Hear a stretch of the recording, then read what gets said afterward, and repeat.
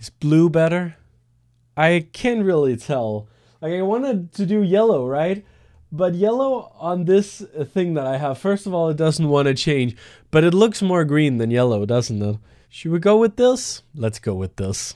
What's up everyone and welcome back here at the Neon Pavilion. My name is Nicklas and it is once again time for me to geek out about graphic design. Because today is the day we finally know the graphics and slogan of the Eurovision 2023. We are here again. Last year I did a video talking about the graphics for the Eurovision in Turin. I have also done a video where I talked about the graphics for the Junior Eurovision Song Contest. And now we finally know what 2023 2023 is going to look and sound like. And since I do have a little bit of an interest in graphic design, let's go over it. I say a little bit, like I haven't worked in, in Photoshop ever since I was like a teenager. Whatever. If you haven't seen it already, this is the logo and slogan for this year's show. Very bright and colorful, especially compared to what we've seen in the past couple of years. And let me start off uh, with the graphics first. I really like, first of all, I want to say that as the first thing. I really love that it is bright graphics this year. Eurovision for the past couple years have been very much like dark colors, very much this like either like a lot of a lot of dark purple and dark blue backgrounds we've seen.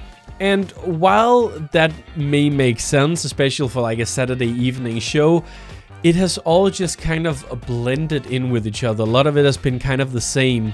I think I talked about in the last year's video as well, but I really loved what Rotterdam did uh, with the open up graphics, especially like the uh, edition that they did, the revision, that's what I wanted to say, the revision they did for 2021, where it was a little bit more playful, it was a little bit more colorful, because you remember that.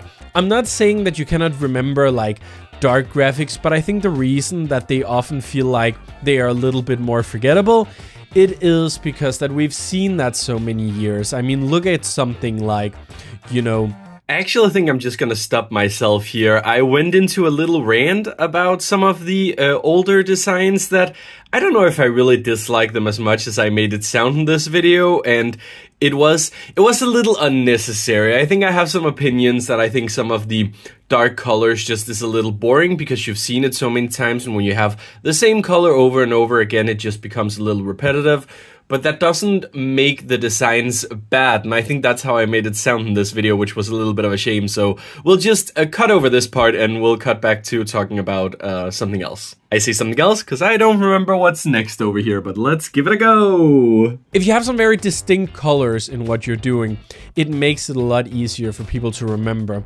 I feel like last year's was a little bit more memorable just because it was these like very like red colors, which we hadn't seen a lot in recent years in Eurovision, but this one in particular is very memorable. And it feels very modern as well. While last year they played on these like, you know, retro vibes that definitely fits Italy very well, but is also a trend in graphic design.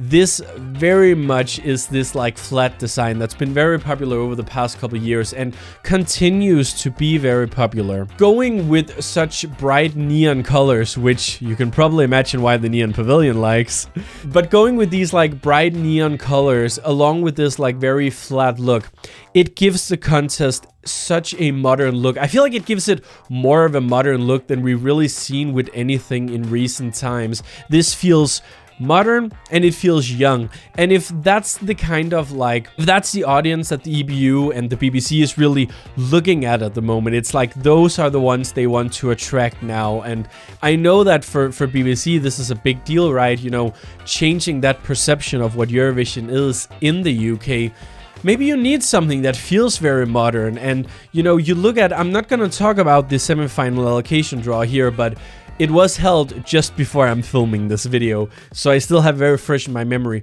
And it feels like, you know, what a lot of what they were doing there was talking about, you know, Eurovision in the modern age, what Eurovision is now. And I feel like it's such a big part of it this year that they want to show how Eurovision is moving forward because that is a very important thing if you want this to succeed in the UK. And I feel like this kind of graphics, I feel like it shows that. The graphics has been designed by a UK company Superunion in collaboration with Ukrainian creative studio Starlight Creatives. And I love that they are able to, you know, do this collaborative work. We already knew when it was going to be this like hybrid Eurovision, you know, hosted by the BBC in the UK but hosted on behalf of Ukraine. We knew that the BBC and the EBU wanted to have as many Ukrainian elements in it as possible. And doing a creative collaboration like this not only shows what we are capable of doing now with the technology that we have, and I love the fact that people are able to, you know, collaborate across borders like this. It's something I wish we all did more, but that's another story. But I love that they're doing it, and I love that you can also tell that this is a graphic that tries to both show that it's Ukrainian and show that it is a UK show. And they do it in very clever ways. I mean, we have those super bright colors where the blue that I have behind me here, the blue and the yellow to symbolize the Ukrainian flag. But then you also have like the small little details, like for example, it's called Penny Lane, uh, the font that they're using uh, for the slogan. And they're also using for these like generic which just says Eurovision Song Contest uh, 2023. They're using this font, which is inspired by these like cast iron signs that you see all over the UK and that was being used in the olden times and especially very prominent still in Liverpool. And I like that they're using that because yes, it's a, it's a little subtle thing that you wouldn't notice if you didn't know but it shows that this is both a Liverpool show and a Ukrainian show. And I love that they're actually using this. I think, and I think I even mentioned that last year with Italy as well, because I feel like they did something similar. I think it should almost be mandatory in a way to actually try to incorporate a country's, a host country's flag into the graphics because it means you sometimes have to think a little bit more creative and you are forced to use some more colors. And you could have just as easily done like a, you know, dark yellow and a dark blue and you could have done something like that. But it is times in Europe where we want to think more positive. We we need these positive rays of sunlight that we do experience every once in a while. And the Eurovision is one of those, you know. So to bring something that's really bright, I think also makes a lot of sense. I do also want to touch on something that I feel like I also kind of talked about last year, which is this with not really having an emblem, because that's the same thing this year. While the graphics may have this like beating, pulsing heart in the middle, that's like the main graphic, it's not too far from the sound waves that we saw last year, and it's not an emblem the same way that the jellyfish or whatever it was from All Aboard or the star that I mentioned previously from Tel Aviv. Those were very clearly emblems, which was almost like a secondary logo to the Eurovision logo. And I talked about last year how I think that's a bit of a shame because you have this Eurovision brand, you have this logo, which is very recognizable use that some more. I think it's bad when when you don't really use it because that is the Eurovision brand and anyone who's worked with brands and graphics design before know that it's so important to have this streamlined visual identity so people can just like glance over something and be like, "Yep, that's Eurovision." And you don't really do that if you have like this separate emblem every single year. So it is interesting that we now have two years in a row where we don't have an emblem anymore that we've been so used to, but we still we instead have graphics that incorporate the Eurovision uh, generic logo. And even more so this year, I feel like, because we're working with that beating heart which is very much, you know, the Eurovision, that is the heart. It is what's, you know, you see that heart, you recognize that's the Eurovision heart. And I do think that that should be used some more. You know, when when that generic branding was first introduced back in 2004, I feel like there was a few years where they really used that. And that was really the graphics. You know, you wanted to do something centered around that heart. As much as I love having new graphics to look at and get excited about every year, I do think that Eurovision sometimes maybe lack that continuous visual identity. And it is interesting that they've actually kind of started doing that, that they have that generic look that they're using on the YouTube channel and they're using on the website in the off season. And something that I can't help but notice is that that very flat design using the heart that you have in that generic brand it's very much in the same kind of style as the uh, Eurovision logo and uh, graphics that we're seeing this year. I don't know if that's deliberate, and I tried looking into it to try to see if it was actually the same people who have worked on it, because if that was the case, That would make a lot of sense. But I cannot find anything about who has actually made uh, the graphics, the generic graphics that the Eurovision.tv uses. And I tried to ask a few people on uh, on Twitter if I was right in seeing that this is very much, looks very much inspired by that. But unfortunately, none of the people that I reached out got back to me. But I think it is interesting. Maybe we are looking into that in the future. Eurovision may become more of a streamlined visual identity where the logos from each and every year don't differ as much as we've kind of been used to. I don't know, those are all just speculations. Maybe it can just be this year, and maybe it's because of BBC working differently together with the EBU than some other broadcasters may do. Maybe it's because they don't want it to be like so clearly a UK or so clearly a uh, Ukraine show this year that by mixing it together you do get a little bit more generic. I don't know what it is, but I just think it's really interesting and I'm interested to see how it's gonna move forward. Like if a country that has like really strong strong ideas of what a Eurovision graphic should be, if they win uh, this year, who knows how it's going to look next year. But it'll be interesting to see no matter what. But I like it. I think, you know, if I were to round this off before we get into the slogan, which honestly I don't have a lot to say about, spoiler alert, but it is what it is. If I were to round it off right now, I do want to say I think it's really cool. Like I said, I love these bright colors. I think it is bright colors that we need and to really, you know, send a positive message with this show because that's what we need to do in these times that we're living in at the moment. So I think it makes so much sense to go with something bright and something bold. You know, I really, I applaud them for doing something that's a little bit more bold and not so much vanilla.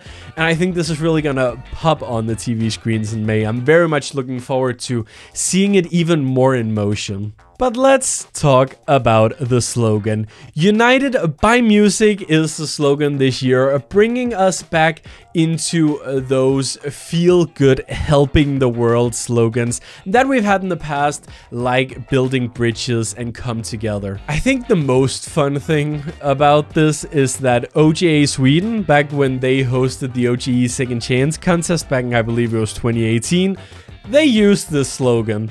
They used United by Music.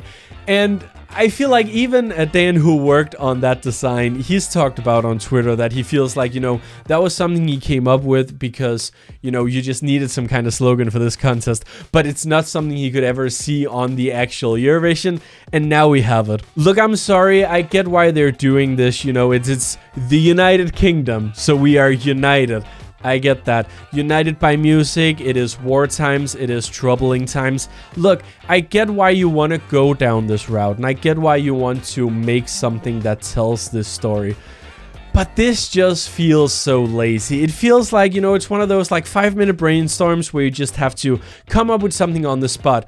And you come up with the easiest thing possible, which is United by Music. There you go. I don't know, to me it just feels super cheap and something that hasn't been put a lot of thought into.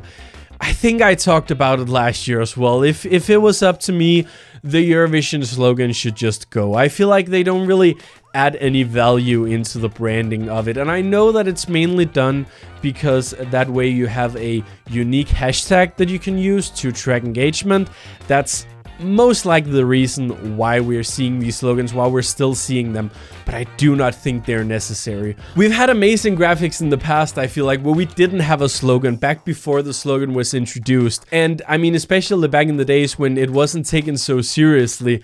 I, I think it began, if I remember correctly, it began back in 2003 with a magical rendezvous no one noticed that that was a slogan that year, and you didn't have to have it plastered all over the graphics. And I just gotta say, I have a guilty pleasure for, for the graphics in 2003. I love the claymation style of it. So cool, so unique. But I don't think they need to be there, and I don't think they need to be there up front and center and be the main thing that you're seeing on stage when it comes to, not on stage, but on the graphics. You know what I mean, right? It doesn't need to be there. The graphics speaks for themselves. You don't need the slogan that you need to force feed into what you're doing. Especially not if you don't want to spend time on it actually making something that feels truly creative and that truly feels like something. This feels cheap to me. And there's not really much more I can say about it. I do wonder why they decided to. Like I said, I, I get why they want to go down this route and have this very inclusive one and talking about being united. But I feel like even just having hashtag unite, I feel like that would almost have been better. Or hashtag united. I don't know. Because like the smaller it is, the less you think about it. But just like last year where you had to think a lot about the sound of beauty and trying to figure out what does that mean and never really understanding it. And that kind of like took your focus away from it. This is the same. Like I look at this graphic and I think these are really cool. These are really bold. And then it just annoys me this united by music. It just feels, uh, maybe I just don't really like slogans. Maybe that's just not my thing. But I was expecting a little bit more if I'm honest. Anyway, those are my thoughts. All in all, I think BBC is doing a great job. I mean, looking at, for example, the graphics that they've done for You Decide, I didn't expect much from the BBC this year, but they've really found some people who are super creative very good at doing their job and they really made something that looks very cool. I'm excited to see how that heart's gonna get more incorporated, for example, with flags and, and the graphics and everything coming into May. That's one of the worst things with doing these videos is that, you know, the on-screen graphics, we don't get to see them until May, so I can't really comment on those. But I just hope that it's gonna be a very bright and very exciting look. And I'm interested to see, because we have something that that's so bright and bold and out there, I really hope the stage design is gonna be that too, that it's gonna be big and it's gonna be bright and it's not just gonna be LED walls. Yeah, so in case in case you didn't guess it, the uh, stage design wasn't out by the time I filmed this video. I wanted to get this video out sooner, but I had a lot of things uh, to do at my internship, so I couldn't get it out earlier. But I have thoughts. I have thoughts on uh, on the stage design, so uh, check back here on the channel in a couple days and, and we'll get to that. But those were my thoughts on the graphics and slogan for this year's Eurovision in Liverpool. What do you think about it? Let me know down in the comments if you want to. Leave a like if you enjoyed and subscribe if you are new for more Neon Pavilion content. And then I'll hopefully see you guys very soon. I just knocked over a can. I was drinking a little bit of, of Fanta before we getting started. Have a good one. I'll see you guys very soon.